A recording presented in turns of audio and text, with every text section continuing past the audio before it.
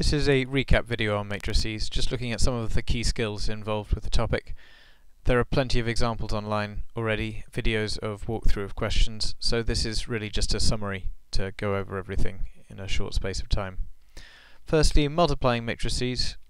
Uh, multiplying by a scalar quantity is very straightforward. A scalar quantity would be, for example, uh, just a number. It is just a number quantity. So if I had to multiply the matrix by 3, and I was multiplying this matrix, I would simply multiply every digit in the matrix by 3, so it becomes 3, 0, minus 12, 15. And that's multiplying by a scalar. Multiplying a 2 by 2 matrix by a 2 by 1 matrix, the 2 by 2 by 2 by 2 matrix has to come first.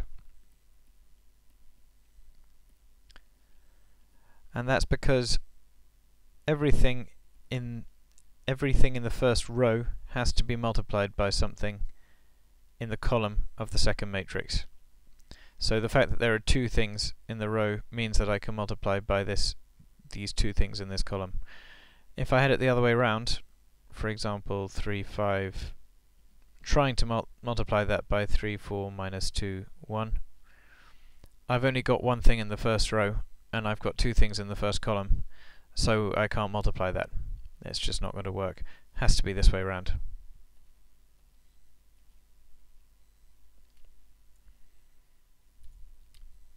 So multiplying this, I multiply everything in the first row by everything in the column, and then everything in the second row by everything in the column, and add the results together. So I start 3 times 3 plus 4 times 5. And I've got in the bottom row minus 2 times 3 plus 1 times 5. So that's 9 plus 20 minus 6 plus 5 equals 29 minus 1.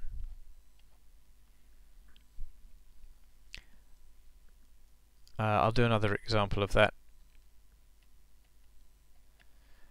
This time not writing out all the intermediate stages because you don't need to normally. So if we had 4, 2, minus 1, 3 times by 2, 1, I'd have 4 times 2, 8, plus 2, and down here I've got minus 1 times 2, that's minus 2, plus 3 times 1 is 3, so that equals 10, 1. That's multiplying a 2 by 2 matrix by a 2 by 1 matrix. This is going to be useful in transformations later on. 2 by 2 matrix by a 2 by 2 matrix. Same sort of process, but it goes on for longer. Uh, won't put the same digits in. Let's have 2 and 5, and we'll have in here 1 and 0. So this equals, we multiply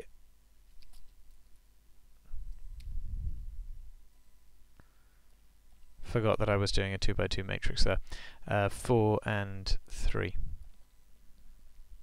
So we multiply everything in the first row by everything in the first column for the top digit, and then everything by the first row by everything in the second column for the top right digit.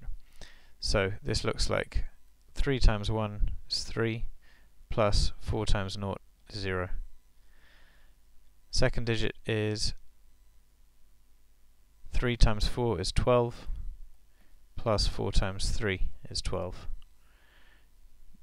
So everything that's in the top row of the result has come from the top row of the first matrix. 2 and 5 have not been involved so far. Now that we've finished this, the top 3 and 4 won't be involved in this bottom row at all. So now we have 2 times 1 is 2, plus 5 times 0 is 0, and then we have 2 times 4 is 8, plus 5 times 3 is 15. And simplifying that, we've got 3, 24, 2, and 23. And that's the result of multiplying those two matrices together. Another example with simpler values, let's have 1, 0, 3, 2 multiplied by 1, 0, 3, 4.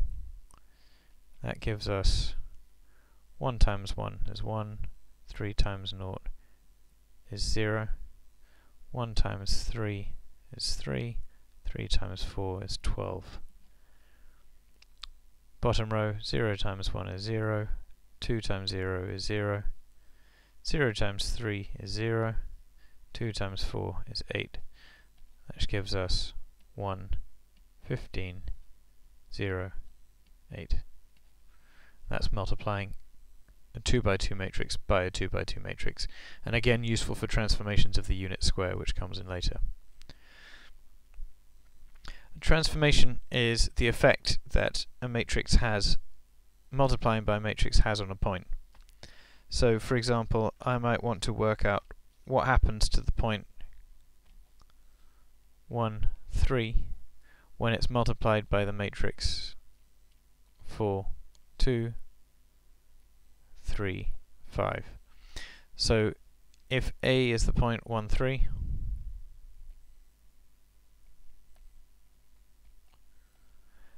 we might want to know what are the coordinates of A dash, the image of A.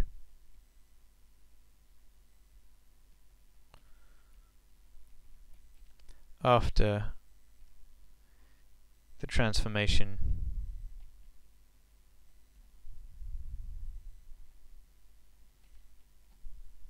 four, two, three, five the transformation goes in front, because that's the way we multiply it.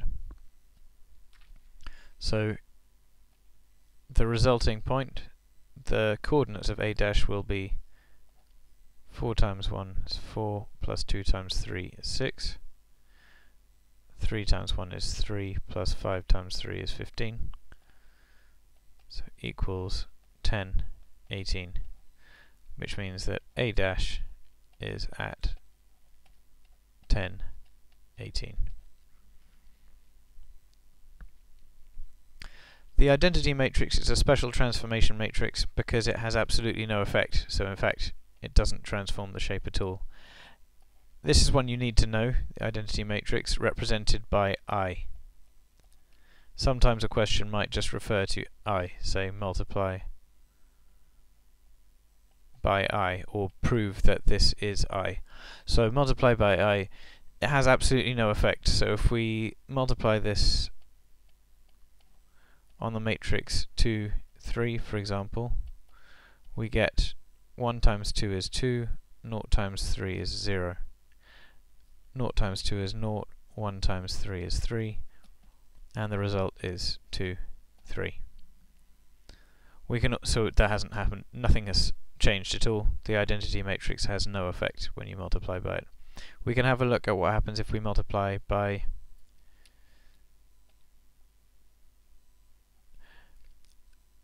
a 4 by 4 uh, a 2 by 2 matrix as well. So 4 3 2 8 for example. We have 1 times 4 plus 0 times 8. And then we've got 1 times 3 plus 0 times 8. We've got 0 times 4 plus 1 times 2 and 0 times 3 plus 1 times 8. Sorry, 0 times 3 is of course 0, which is why the identity matrix works. So there we get 4, 3, 2, 8, exactly the same as we started with. So this has no effect the identity matrix. Going on to transformations of the unit square. It's called a unit square because it's a square that is one unit in every direction. So the coordinates of the lower corner here are 1, 0. The furthest corner here is 1, 1 and 0, 1. We can use this unit square to identify a matrix given to us um, as a transformation that we would recognize. For example, it might be a rotation of 90, which would be 90 degrees anti-clockwise. Assume that the rotation is anti-clockwise unless told otherwise. might be a rotation of 180 or 270. So quarter, half or three quarters turn around the origin. It'll always be around the origin. It might be a reflection in one of the axes or it might be an enlargement. We don't have to look at translations. So our transformation matrices come in the form they will look generally very similar to the identity matrix. So you might, for example, get 1, 0, 0, minus 1. And you might be asked to work out what transformation effect this will have, this matrix. And we can do that by looking at the two key points, A and C, and what happens to them. So A is the point 1, 0, and will be represented in vector form as 1, 0 like that. And C is 0, 1.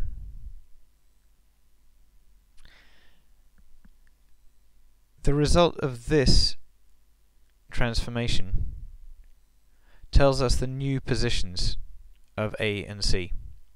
So this is what we look at for the new position of A, and as we can see it's exactly the same. A hasn't moved here. However, C, the new position of C, has got C as 0 minus 1 instead of 0, 1, which means that this is now down here. That's the new point of C, C dash. If that's happened, the only way that that can be there while A stays in the same place is after it's been reflected in the x-axis. Which tells us that this matrix is the matrix for a reflection in the x-axis. So 1, 0, 0, minus 1, reflection in the x-axis.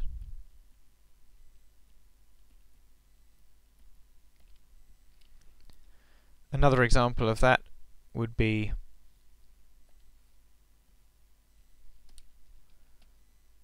I can leave those rings I suppose. I'll remove this uh, C dash point.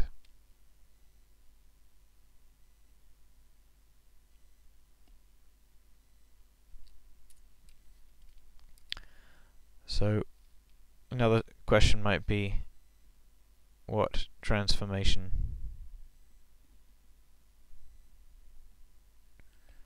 occurs using the matrix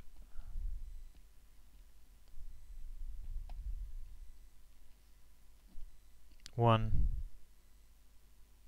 one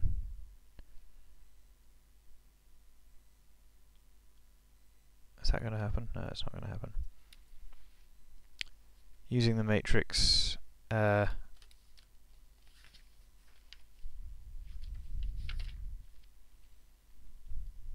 minus 1, 0, 0, minus 1.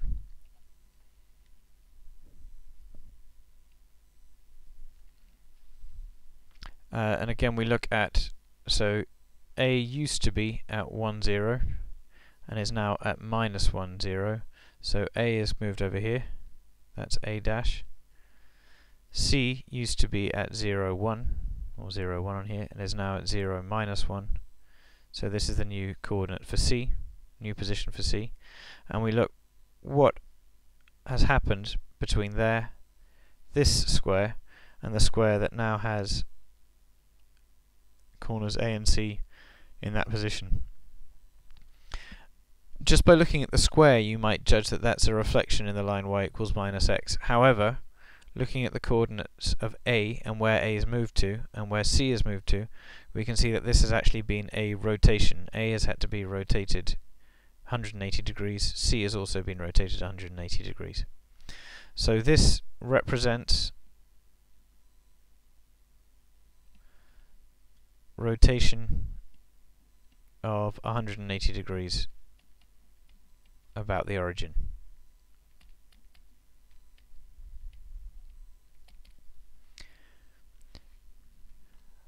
You can always use this method to work out any kind of well, any of the transformations you'll be looking at in the exam that you'd be expected to recognize. Key point is to remember that because we write them as vectors from 0, it's this bit that represents point A and that bit that represents point C, not 1, 0, 0, minus 1. We don't look at the rows, we look just at the columns for using this method.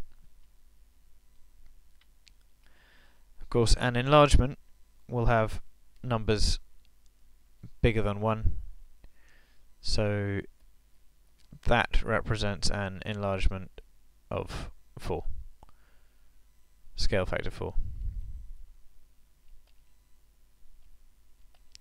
And looking again at that, the details of that, point A10 is replaced by point A40, so 4 times bigger over here. And point C is, instead of being 0, 1 is 0, 4. So all the way up there. And you can now got a square that's been enlarged by a scale factor of 4. And one final key rule if you've got two transformations happening, so if you've got a point, for example, 3, 2, and it's being transformed by A, followed by a transformation B, the first transformation is the one that you put right next to the original point, because the second transformation is going to be applied to the first transformation. So if you want to know, for example, the transformation matrix of 1, 3, 2, 1, followed by